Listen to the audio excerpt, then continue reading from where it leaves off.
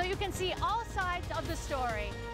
Depend on us for coverage from across the globe. See it over the air and on Comcast and Verizon.